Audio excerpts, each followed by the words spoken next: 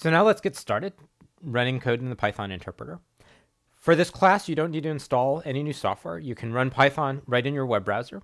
And you should see something like this in your web browser once the video stops. There are two parts to this. There's the environment where you can edit code. So let's type code to print3. So print is a Python command that prints something out. And then after the print, we can have any expression we want that is valid Python. And we'll talk more about what expressions are in Python. Now we're just going to print the number 3.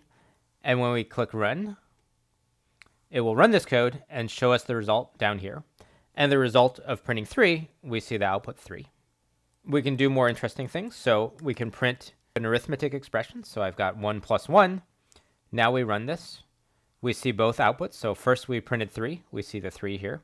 Then we printed 1 plus 1. We see the result of 1 plus 1 is 2. We can write this more clearly by having spaces. We can have spaces between the parts of our expression. So we can have 1 plus 1 with spaces between there. That's a little easier to read. When we run that, we see the same result. The result's still 2. And we can make more and more complex expressions. So let's print the result of 52 times 3 plus 12 times 9. This will print out the result of multiplying 52 times 3 and adding that to multiplying 12 times 9. And we get 264. You can check that yourself to see that Python got the right answer. We can use parentheses to group expressions. So if we use parentheses, we can do what we did before, but putting parentheses around grouping the multiplications and grouping the other multiplication. When we run this, we see the same result.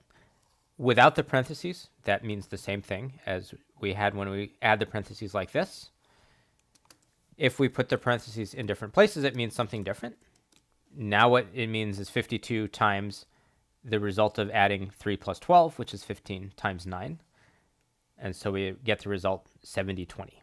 So we can combine any expressions that we want like this. For example, if we wanted to compute the number of seconds in a year, we could compose many multiplications. So we'll multiply 365 days times 24 hours in a day times 60 minutes in an hour times 60 seconds in a minute. We can do all those multiplications together and we get this result, which is about 31 and a half million seconds in a year. So now it's time for your first programming quiz. You've seen enough to be able to write a Python program. And your goal is to write a Python program that prints out the number of minutes there are in seven weeks, which is the amount of time we have for this course. You'll do that by entering your code in here, and then you can try different things. You can try running the code, see the result, and then when you've got an answer, you can click to submit that answer and see if it's correct.